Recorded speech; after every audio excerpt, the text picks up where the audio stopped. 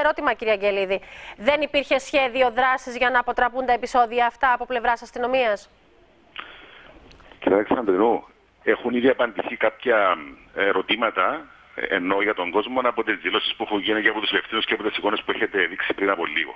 Βεβαίως και υπήρχε σχέδιο δράσης.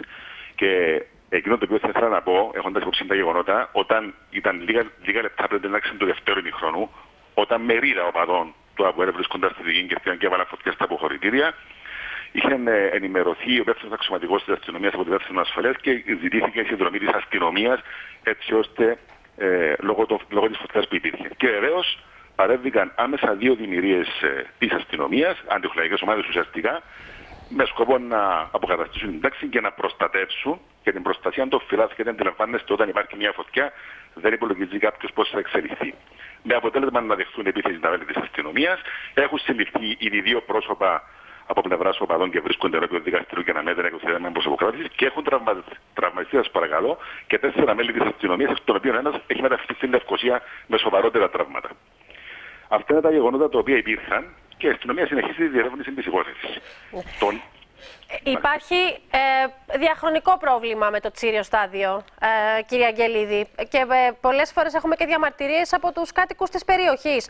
Προβληματίζει τις αρχές αυτή η κατάσταση σε σχέση με το συγκεκριμένο γήπεδο; Η αστυνομία γενικότερα προβληματίζεται και θα πρέπει να πω, κύριε Αλεξανδρινού, ότι η αστυνομία εφαρμόζει την νομοθεσία και αν, αν, έχετε, αν κάποιος έχει παρατηρήσει και διαπιστώσει ότι γίνεται πολύ πιο προσεκτική σχεδιασμή και, προ, και, και προγραμματισμός στο ερώτημα σας, με αποτέλεσμα να υπάρχει έντονη παρουσία της αστυνομίας, αλλά και να είναι και αποτελεσματική. Και βεβαίως εκεί υπάρχουν αδικήματα και γίνονται συλλήψεις, προχωρούν υποθέσεις στο δικαστήριο και εκδίδονται και τα σχετικά διατάγματα όπως ήδη ανακοινώνονται και δημοσιοποιούνται.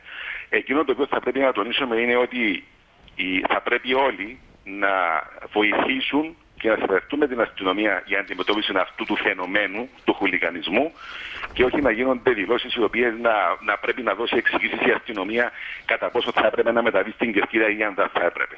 Και, εάν, ε, και σας λέω σήμερα, εάν, εάν υπήρχε οποιοδήποτε θύμα από τη φωτιά ή κάποιος οτιδήποτε σοβαρότερο, τι θα ζητούσετε από εμάς, κύριε Αλεξανδρίνου; Ποιες δηλώσεις, κύριε Αγγελίδη, ε, ποιες δηλώσεις σας έχουν ενοχλήσει, Έχουν γίνει αναφορές ότι η αστυνομία έχει προκαλέσει με την παρουσία της, δηλαδή; Ε, είχαν γίνει κάποιες, ε, κάποια τοποθέτηση από πλευράς ε, του εκπροσώπου του ΑΠΟΕΛ που είχε αναφέρει όσον αφορά, ε, ρωτούσαν ουσιαστικά για ποιο λόγο είχε μεταβεί η αστυνομία στο συγκεκριμένο χώρο, δηλαδή η παρουσία της αστυνομίας.